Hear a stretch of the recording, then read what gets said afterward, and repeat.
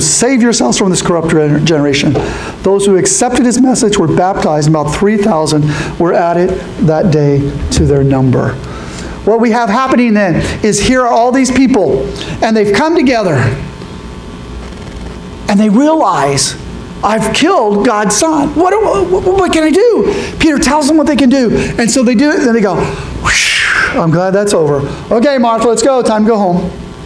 No, they didn't do that at all. Look at what it is. Because God brings change. The Holy Spirit brings change. Jesus brings change. Amen? Amen? You're going to see change that happens here. And look at the change that took place among these people, starting in verse 42. And they devoted themselves, they became devoted to one another. These strangers from all different parts of the world came together and they became devoted to people who they'd never known before. Why was that? Why was that? Scripture tells us in verse 42 they devoted themselves to the apostles' teaching, to worship, or fellowship, to the breaking of bread, and to prayer. Jesus makes a difference. These people who had come and had their reasons for being there and had the things that were happening to them, they change. There's a change that takes place. We're going to look at that a little bit, but I want you to notice that, that Jesus makes a difference. His power, his power changes us and makes us different people. His love is never failing. His love never fails. It never gives up. It's always there with me. And his grace, his grace, his grace reaches me. Though I killed the Son of God. His grace reaches me and it restores. I want you to think for a moment about change. And I've asked some people to come and to talk with us about change. How being a Christian makes a difference. It makes a difference. Patty?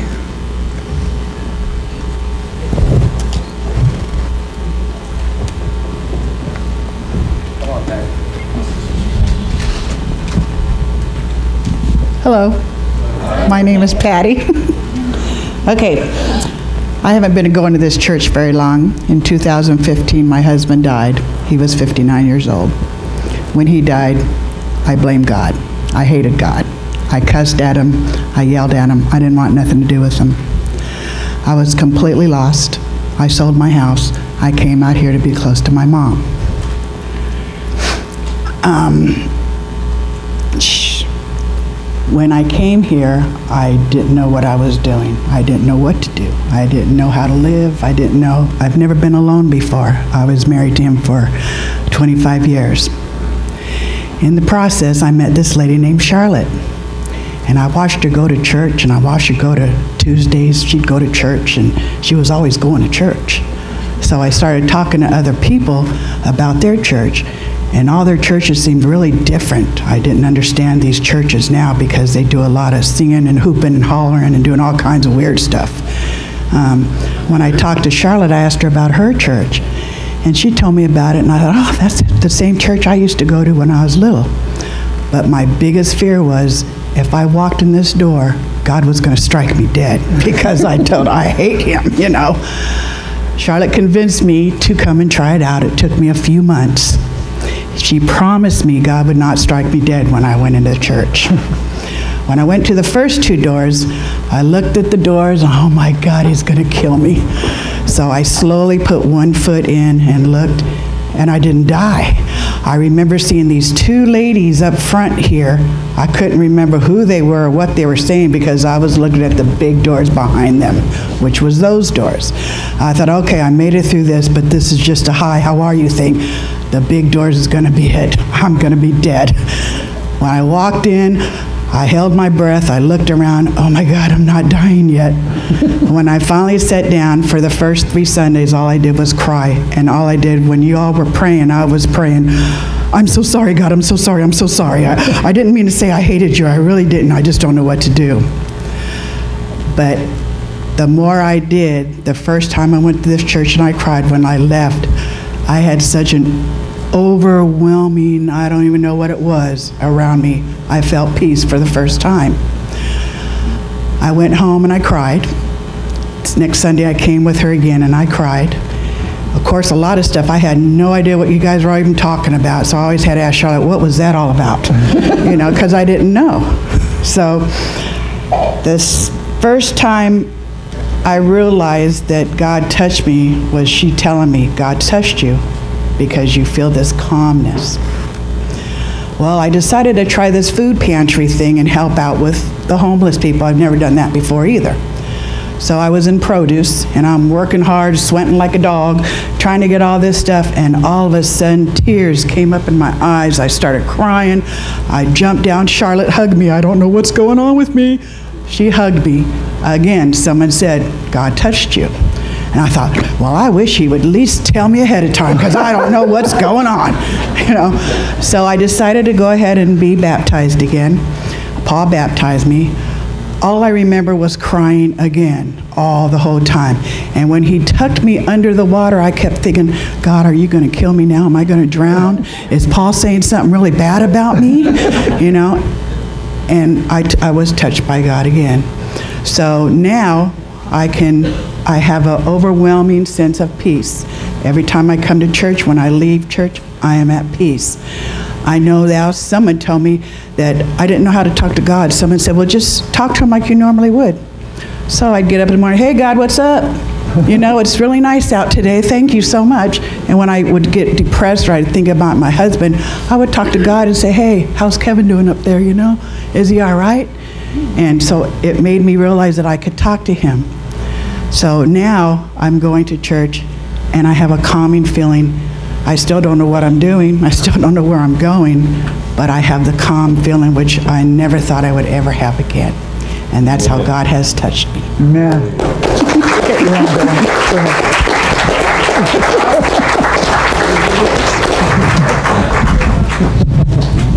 Thanks, Paul. you said one minute just to say how God changed my life, and then Patty comes in with that. That was awesome. This was. I found God. He didn't find me about 14 years ago. Because He's always been my Father. I just didn't know it until then. Carol drugged me to church. With Robert's help and other elders here at the time, and I found him. I didn't know he was my father. So he came into my life, and I learned, and I guess to specifically address how God has made a difference in my life, is before I walked through these doors, before I was baptized by Gene Sneed, I had no direction. I I was living for today. I didn't know anything about the big picture. I didn't know anything about where I was going when it was all over. When would it be all over? And finding finding our Lord and Savior changed all of that for me. I knew where I wanted to go. I began to learn the ways of getting there. And in recent years, and, and, the longer I've been here, the more understanding I've had about the devotion it requires to get there. I think I underestimated it at first. I think I thought, well, I've been baptized, that's it. I'm golden. Thank God, I thank God that I kept on showing up and studying and learning and being surrounded by brothers and sisters who taught me more and more and more, and in many cases gave me an opportunity to do things, encouraged me and uplifted my spirit, made me stronger as a Christian, to help me find my way. So, what my relationship with God has, how it's changed me, is it's transformed me in every possible way imaginable. Mm-hmm. Amen. Thank you.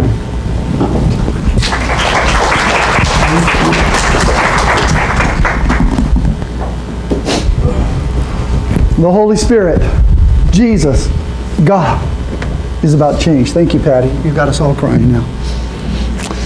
Thank you, Dylan, for bringing in those things because look at what it says in verse 42. They devoted themselves. This is the change. Once they realized that their only hope lay in God's salvation that He offers through Jesus, once they realized this, this is how the Holy Spirit changed them. They devoted themselves. Now, devotion is something I have for my wife that I said that I would be with you. That's devotion. Devotion is not hit or miss, it is devotion. They devoted themselves to the apostles' teaching. I call this they wanted to learn. Not just to learn facts about Jesus, not just to learn about um, how much juice to put in the cup, not just to learn the, the, the protocol, but they wanted to learn about Jesus. They were willing to learn about themselves and how Jesus impacts them and changes them. Before they were opposed to God, now they are approved by God. So we too need to spend time in God's Word. That means that when we are devoted to Him, we, we, we hunger after learning more. We don't say, oh, no, it's Sunday, I've got to go to church. But it's, I have an opportunity to learn more. If you weren't here for class, look at yourselves. Meditate upon, reflect upon yourself, and ask yourself, why don't I make it in time? Are you dedicated? Are you devoted to learning? Bible study, private study, and group study needs to take place. We need to show ourselves approved by God. Study to show yourself approved. So, learning, just like Dylan said, we need to learn so that we can do more. The second thing that it says is they devoted themselves to the apostles' teaching. Oh, by the way, look at um, verse 46. Every day they continued to meet together in the temple courts. They were meeting together, they were learning together, they were com- coming to know God more all the time, not just on Sunday. The second thing it says, they were devoted to fellowship. Fellowship. I call it love. They were devoted to fellowship, to love. The fellowship of verses 44 and 45 point to what this fellowship is like. It says, all the believers were together and had everything in common. Remember, they were from all over the Roman Empire, and they'd come together, and now they're coming together and they're sharing things, even selling their possessions and goods to give to anyone as he has need. They were doing that. Do you get this point? That the Christians sold stuff just to help the poor. Now, we can make excuses all day long about how, how that was something that just happened then, we don't see it happening again, or we can't do that now. And the more we talk about it, the more we realize, the more we recognize that if we're to be like that, it's going to cost us. There's a lot at stake. But a transformed life, a life that is filled with the Holy Spirit, gives to others sacrificially.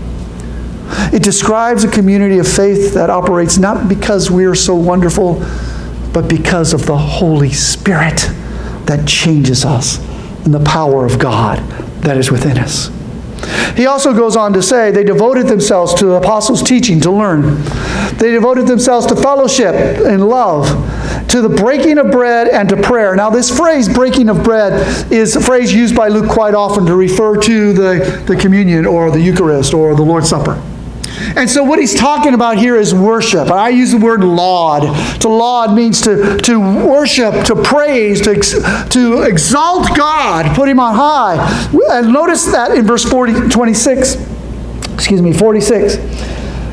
Every day they continued to be together in temple courts. They broke bread in their homes and ate together with glad and sincere hearts, praising God and enjoying the favor of all the people.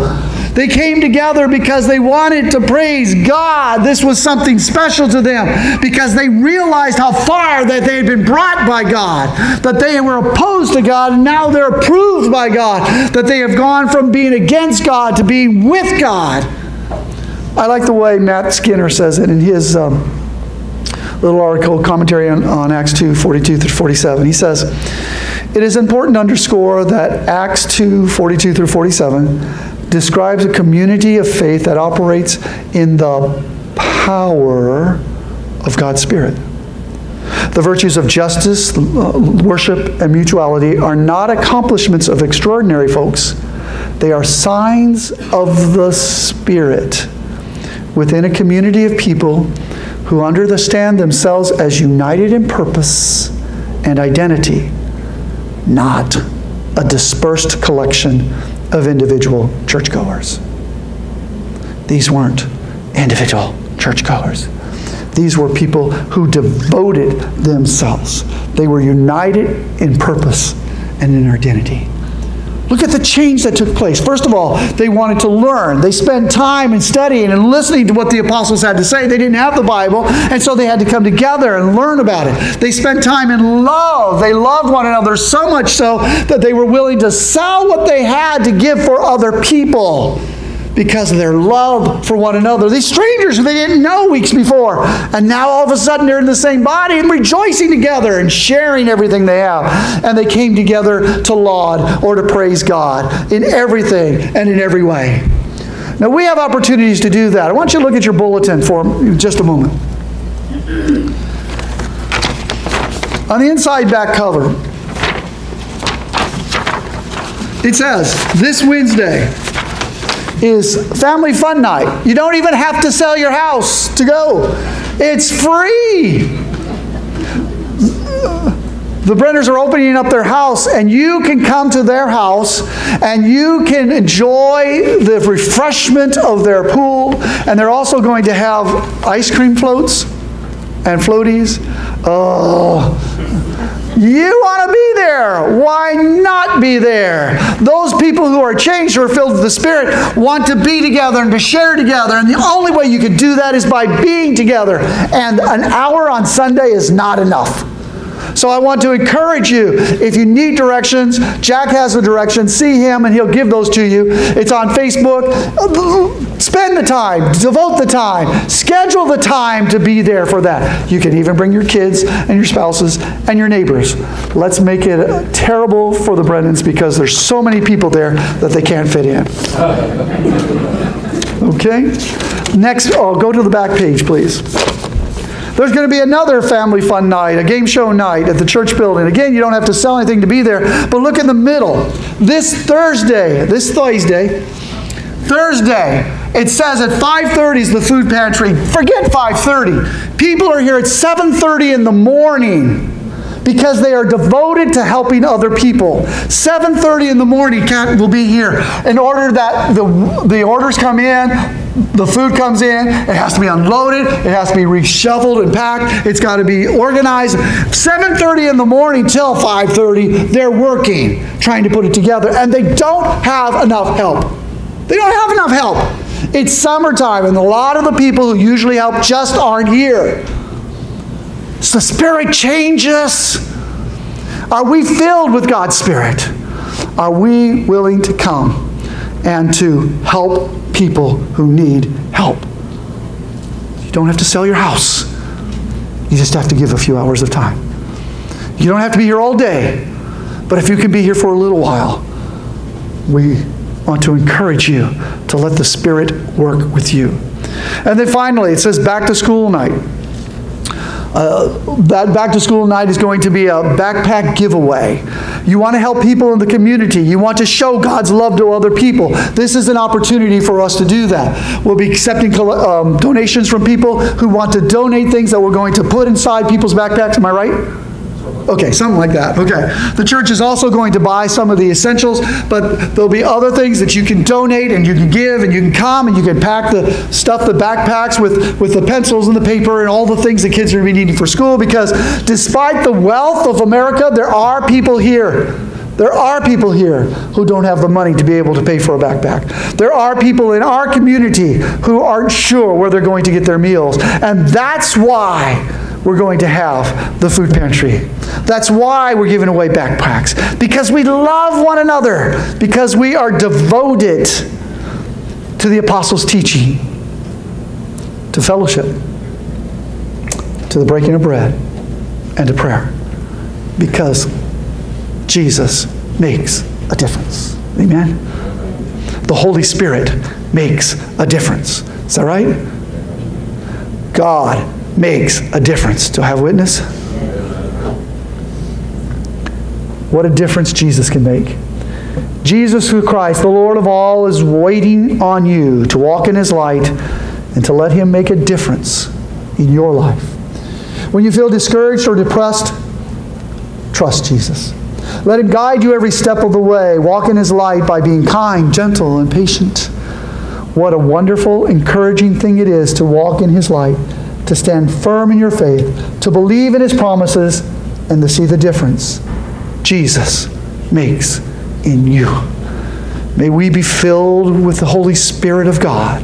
May we be people who are different. May we show that difference as God fills us with His, with His Spirit. Lord, make me a servant. Make me like you. Make me a servant. May I be devoted to the apostles' teaching, to learning. May I be devoted to fellowship, to love. And may I be devoted to worship, breaking the bread, and to prayer, in lauding the name of Jesus. Lord, make me a servant. Thank you, Paul.